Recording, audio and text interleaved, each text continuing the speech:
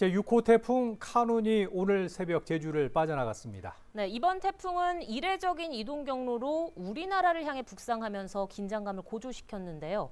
이번 태풍의 특징을 김경임 기자가 정리했습니다.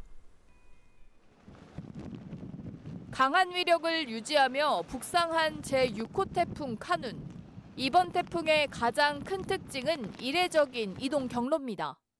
태풍 카눈은 지난달 28일 괌 서쪽 약 730km 부근에서 발생해 당초 중국 상하이 육상에 상륙할 것으로 예상됐습니다. 이후 태풍이 북상하는 과정에서 동쪽으로 진로를 바꿔 일본 가고시마 동남동쪽 해상으로 향하면서 우리나라에는 영향을 미치지 않을 것으로 전망됐습니다. 그런데 여기서 또다시 변수가 생겼습니다.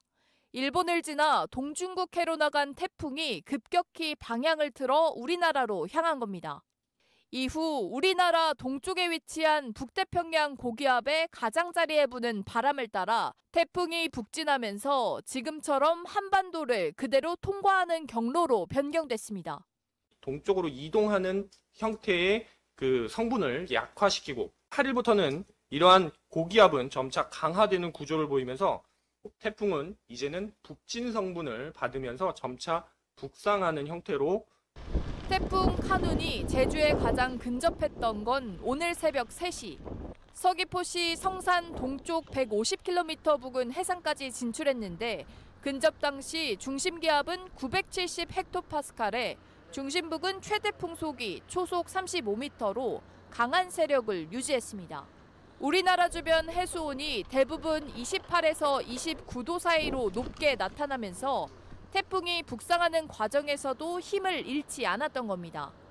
태풍을 견인하는 지향류가 뚜렷하게 나타나지 않으면서 전체적으로 이동 속도도 느리게 나타났습니다. 당초 태풍의 영향으로 폭우와 강풍이 예보됐는데 대부분 산지와 동부 지역에 집중됐습니다.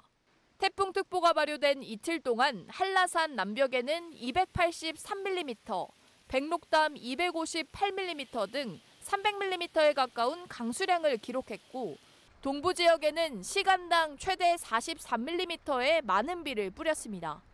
반면 이외 지역에서는 1mm 내외에 그쳤습니다.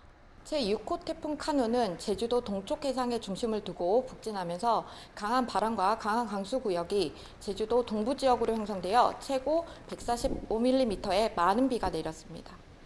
태풍이 제주 동쪽 해안을 통과해 위험 반원인 태풍의 오른쪽에 들지 않으면서 제주는 우려했던 것만큼의 큰 피해는 발생하지 않았습니다.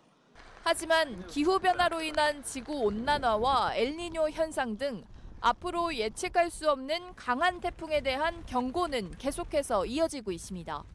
KCTV 뉴스 김경임입니다.